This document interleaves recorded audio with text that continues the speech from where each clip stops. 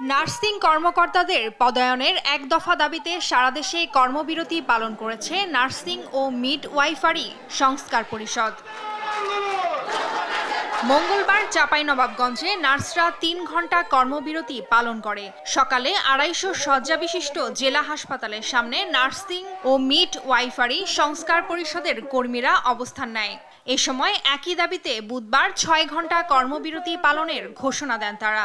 নবম গ্রেড থেকে চতুর্থ গ্রেড পর্যন্ত যাওয়ার কথা আছে। কিন্তু তারা দীর্ঘদিন পদোন্নতি না দেওয়ার ফলে আমাদের নার্সরা তাদের যে এমপি পদ সেই এমপি পদে থেকে যাচ্ছে। আমরা চাই আমাদের দাবি অতি শীঘ্র মেনে আমাদের আমাদেরকে কর্মস্থলে ফিরে নেওয়ার জন্য।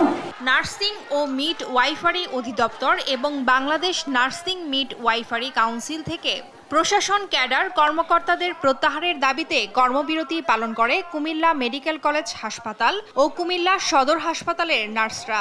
সকাল নয়টা থেকে দুপুর বারোটা পর্যন্ত এই কর্মবিরতি দিয়ে বিক্ষোভ কর্মসূচি করে তারা।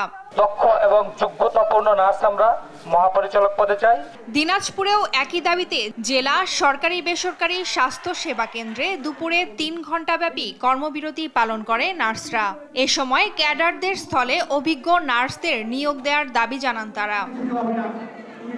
এক দফা দাবিতে এদিন ফেনী দুইশো পঞ্চাশ শয্যা বিশিষ্ট জেনারেল হাসপাতালের সামনে কর্মবিরতি পালন করেছেন নার্স ও মিড ওয়াইফরা এ সময় দাবি পূরণ না হলে সামনে আরও কঠোর কর্মসূচির হুঁশিয়ারি দেন তারা। আমরা আমাদের বিএনএমসি এবং ডিজিএনএম এর সকল পদগুলোতে উচ্চশিক্ষিত দক্ষ এবং অভিজ্ঞ নার্স চাই যাতে করে আমাদের সেশন জট আমাদের পরীক্ষার বিড়ম্বনা আমাদের শিক্ষক নিয়োগের বিড়ম্বনা এগুলো দূর হয়। দু হাজার ষোলো সালের নিয়োগ বধি অনুযায়ী যেভাবে এই নার্সদেরকে পদায়ন করার জন্য যে নিয়মকে ভঙ্গুর করে নিয়মকে প্রহসন করে যেভাবে সচিবরা উপসচিব পদমর্যাদার প্রশাসন ক্যাডারের সচিবরা যেভাবে এই পদগুলো দখল করে আসছে আমরা তাদের এই দখলের অপসারণ চাই।